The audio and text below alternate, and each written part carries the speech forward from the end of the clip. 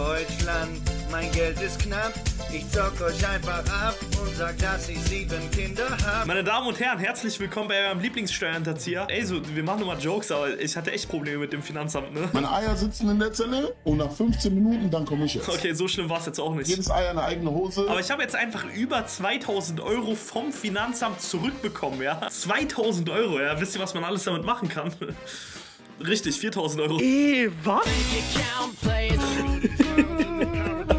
Ich war im Casino, aber ich schwöre, ich habe nicht gezockt. Kollegen wollten dahin, die haben auch nicht gezockt. Ja, die wollten es mir nur zeigen, weil das so ein fancy Casino war in Wiesbaden. Ja. Jedenfalls war ich dort und ich habe da einfach Zuschauer getroffen. Ja, und ich war da so richtig so, ähm, ja, Jungs, äh, ich, also ich habe nicht. Um, Also kurz vor dem Verlust, oh, kurz vor dem Verlust der Muttersprache. Nein, jetzt, äh, das Casino ist nichts für mich, ja. Ich bin eher so der Billardspieler. Die 15 ein noch, die 15 noch mehr.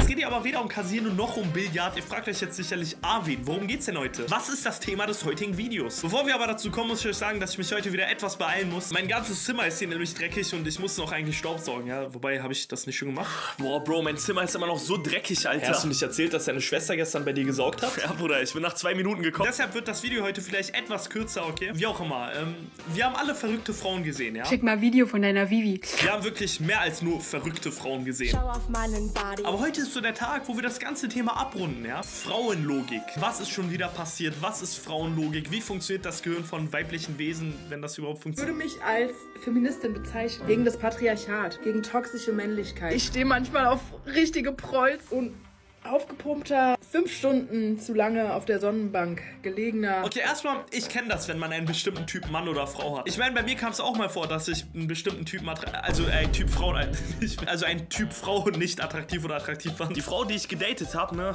die war gar nicht mein Typ, Bro. Ja, wieso denn, Bruder? Ja, ich mochte zwar ihre Haarfarbe nicht, ja, aber wir haben es trotzdem getrieben. Ehrlich jetzt? Ja, Bro, und das war so ein Moment, als ich ihn rausgeholt habe, er war einfach doppelt so lang, als ich erwartet habe. Ich dachte, du kennst deine Schwanzlänge. Ja, aber ihre doch nicht. Trotzdem verstehe ich nicht, warum sie jetzt so toxische Männlichkeit und so weiter erwähnt hat. Gegen das Patriarchat, gegen toxische Männlichkeit. So, guck mal, ich persönlich, ich stehe ja hinter Männern. Homoerotische Spielchen oder nicht? Ja, nicht so, aber wie auch immer. Wir schauen uns einfach mal ein paar perfekte Beispiele für Frauenlogik an. Lange Rede, aber mal gar keinen Sinn. Herz auf der Zunge, los geht's. Herz auf der Zunge, los geht's. So gaslightest du Männer richtig. Und ja, Leute, es ist moralisch verwerflich. Wuhuhu, go cry about it. Ja, vielleicht musst du ein bisschen lügen. Ja, auch das ist moralisch verwerflich. Aber glaub mir, dass dein Mark hat dich sowieso. Bro, stellt euch vor, ihr heiratet später diese Frau und eure Kinder schauen sich dieses Video hier an. Glaubt mir, das ist alles andere als halal. Ein Bruder, der hatte ein Mädchen so unter dem Arm und geht zum Dönerladen. Er sagt zu dem Dönerbesitzer, ist dein Fleisch halal? Dann sagt der Dönerbesitzer, ist dein Fleisch halal, was du in der Hand hältst?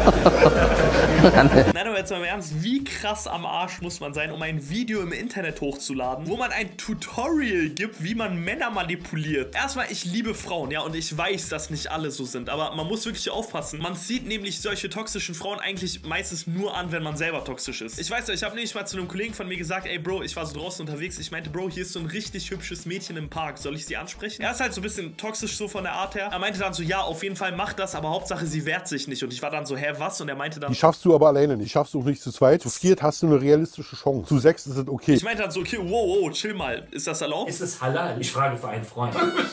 Wie auch immer, lasst euch weder auf toxische Männer noch auf toxische Frauen ein. mich halt aus Versehen mit meinem Ex getroffen. Dann hatte sie irgendwie so ein schlechtes Gewissen, dass sie es ihrem Freund gebeichtet hat. Und dann hat er mit ihr Schluss gemacht. Wir sind hier in der Gaslight Academy. Leute, wo war der erste Fehler? Zugeben. Es sagen. Wir sagen nie. Bro, das ist ja mal das dreisteste TikTok, was ich je gesehen habe. Imagine, ein Mann hätte so einen TikTok gemacht, wie man Frauen manipuliert. Vorbei. Der könnte sich niemals wieder zeigen im Internet, ja? Also für immer. Cello AB aus Duisburg sagt, nichts ist für immer. Ja, aber das ist schon hart, so, ne, wenn man so überlegt. Guck mal, es passieren schon oft Dinge in Beziehungen zwischen Mann und Frau, die man nicht erwartet, ja. Aber diesen Frust dann zu nehmen und in so etwas umzuwandeln, das ist schon sehr extrem. Das ist eine Frau, die wirklich gerettet werden muss, ja. Und äh, zufällig, zufällig bin ich einer, der schon öfter Frauen gerettet hat. Ereignis nach Ereignis. Ein mutiger YouTuber rettete eine Frau aus einem brennenden Haus. Untersuchungen ergaben jedoch, dass sich die DNA des YouTubers in der Unterwäsche der Frau befand. Heute im Interview Held und Retter Arvin R. Bewusstlos ist nicht gleich lustlos, habe ich mal gehört. Halt kann das dir immer vorhalten. Und du möchtest nie in der Position sein, dass dir was vorgehalten wird. Du möchtest immer was in der Hand haben, was du ihm vorwerfen machen kannst. Deswegen ist es sogar ganz geil, wenn du ihn mal bei einer Lüge erwischt oder Ich muss es nochmal wiederholen, ja? Was denkt ihr, wie viral dieses Video gegangen wäre, wenn ein Typ das gemacht hätte? Ganz Deutschland hätte ihn gehatet. Aber alles gut, ist in Ordnung, ja? Wir kennen das ja schon längst. Guck mal, wie soll ich sagen, ich persönlich, ich bin eigentlich nicht der Meinung, dass die meisten Männer Frauen scheiße behandeln. Bewusstlos ist nicht gleich lustlos. Aber sie ist das perfekte Beispiel dafür, dass Typen nur Scheiße machen, wenn Frauen sich so verhalten. Ich meine, jeder von uns würde doch eher rationale Schritte bevorzugen, wenn es beispielsweise mal Streit mit der Frau gibt. Streit kommt in jeder Ehe vor. Was ist die Lösung? Eine Kopfnuss? Aber je mehr toxische Frauen es gibt, desto mehr toxische Männer gibt es auch. Männers mit 3 Euro haben Angst vor Golddiggern, die nur ihr Geld wollen. Du hast 3 Euro. Ich habe doch keine Angst, dass mir jemand was klauen will, was ich gar nicht habe. Eigentlich sie hat komplett recht, ja. Ich finde es auch absolut cringe, wenn Männer gar kein Geld haben, aber sich dann todesbeschweren über so Golddigger. Aber es gibt nun mal faktisch gesehen Frauen, die Golddigger sind und eine Einstellung gegenüber diesen Frauen ändert ja nichts daran, dass sie trotzdem Golddigger sind. Also ich meine, die existieren ja immer noch, ob man sich da jetzt beschwert oder nicht. Außerdem, ich habe eine sehr gute Frage, die ich solchen Frauen stellen würde. Es war ein anderes Thema, aber passt auf. Ihr seid 1,60, wollt aber einen 1,90 Typen, okay? Ihr habt keine Muskeln, findet aber Männer mit Muskeln attraktiv, okay? Ihr habt selber kein Geld, wollt aber jemanden, der viel Geld verdient. Ich als Mann darf nach eurer Logik also materialistische Frauen nicht, ja, mich über sie beschweren, weil ich selber wenig Geld habe. Aber ihr dürft alles von einem Mann erwarten, was ihr selbst nicht habt. Ist ein anderes Thema, aber ich frage nur. Ich frage nur. Ich stelle hin, ich frage nur diese Frage. Die Antwort auf diese Fragen würde mich sehr interessieren, falls es äh, unter euch auch Frauen gibt, oder sind wir nur Männer? Es ist wie es ist, Digga. Also wird mal Zeit, dass ihr eine aufräumt und sauber macht. Nach zwei Minuten gekommen. Ich habe einen ganz, ganz miesen Crush auf jemanden. Der muss nur sowas machen. Ich flitz. Dieser Mann ist mein Traummann. Ich liebe ihn, ohne dass ich ihn liebe. Hä, wo macht das Sinn? Ich liebe ihn, ohne dass ich ihn liebe. Sie hat dir selbst geschrieben, hier Frauenlogik. Wen liebt sie jetzt? Warum liebt sie ihn oder liebt sie ihn nicht? Ich meine, Frauen geben so komische Statements von sich, ne? Genau wie die eine letztens da, die ich damals auf TikTok ge äh, gerepostet habe. Ich muss dran denken. Guck mal, wenn ich jemanden mag, darf er mich nicht zu sehr mögen. Weil wenn er mich zu sehr mag, verliere ich komplett das Interesse. Das heißt, er muss mich ein bisschen mögen, ein bisschen Desinteresse zeigen, damit ich mich richtig... Bro, wir haben verkackt, Digga. Wir Männer haben doch keine Chancen mehr. Also, das macht gar, keinen Sinn alles. Damit müssen wir arbeiten, Digga. Das sind unsere Karten, mit denen wir spielen. Bruder weiß noch nichts von seinem Glück. Er weiß noch nicht, dass ich seine Frau werde.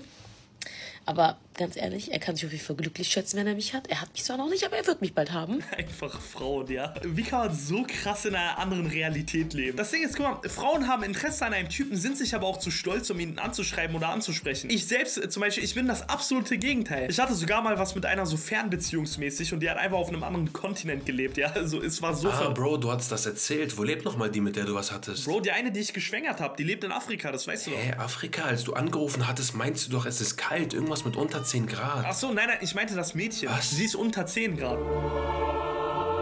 Ich weiß nicht, wie das bei euch ist, bei den Mädels, wie krass eure... Okay, nein, nein, stopp, stopp. Ich kann das Ganze einfach nicht mehr. Warum ist das Internet voll mit so viel Scheiße? Stell euch auch vor, wir sterben alle, ne? oder sind wir so im Himmel und dann müssen wir so Zivilisten vom Römischen Reich was von toxischen TikTok-Frauen erzählen. Wie auch immer, ihr habt jetzt die Möglichkeit, mir zu zeigen, dass mein Content nicht sterben soll und dass ihr das Ganze hier feiert. Und das tut ihr, indem ihr ein Like auf dieses Video da lasst. Ja, tut es oder ich schwänge eure Schwester. Des Weiteren kommentiert bitte unbedingt mit eurer Schuhgröße. Ja, das ist... Oh, das ist extrem wichtig. Der, dessen Schuhgröße ich like, darf mir seine getragenen Socken schicken. Was ist das eigentlich für eine komische Scheiße? Was ist das für ein Outro? Ansonsten ja, Dankeschön für euren Support. Ich liebe euch. Bleibt aktiv. Passt auf euch auf. Grüßt eure Tante von mir und vergesst niemals. Ich schaff's auch nicht zu zweit. Zu viert hast du eine realistische Chance. Zu sechs ist es okay.